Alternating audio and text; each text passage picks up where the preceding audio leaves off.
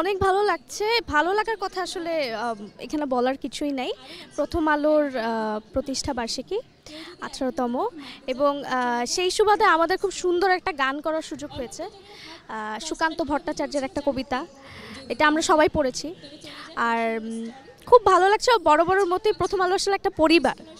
So, পরিবারের ভিতরে যে আনন্দটা, সেটা অনেক বড় একটা আনন্দ। আর অনেক অনেক শুভেচ্ছা জানাচ্ছি।